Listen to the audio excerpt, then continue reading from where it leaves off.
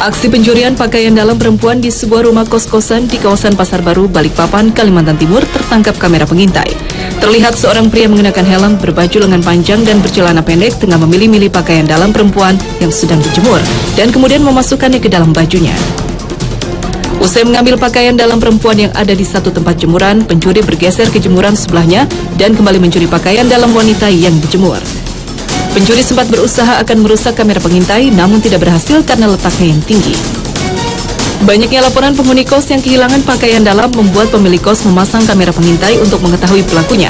Selain bukti berupa rekaman kamera pengintai, pemilik kos juga menemukan satu buah telepon pintar yang tercecer di bawah lokasi kamera pengintai terpasang. Setelah telepon pintar diperiksa terpampang foto pemiliknya, yakni seorang pria mengenakan seragam polisi.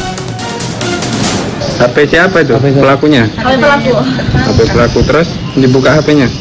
Uh, HP-nya dipegang sama bapak, tapi belum kasih lihat kita. Kita masih penasaran. Hmm. Akhirnya kita ke bawah lihat CCTV. Berarti kita lihat CCTV dan HP.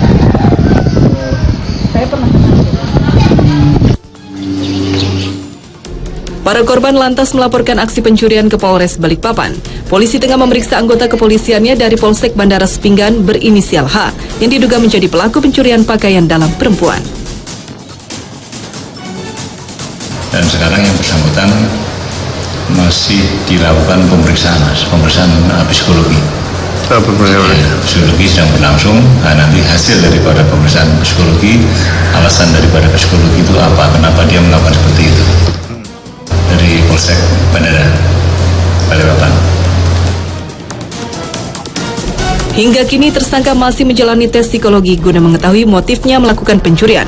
Namun diduga tersangka yang telah beristri ini sakit hati dengan salah seorang penghuni kos karena cintanya ditolak.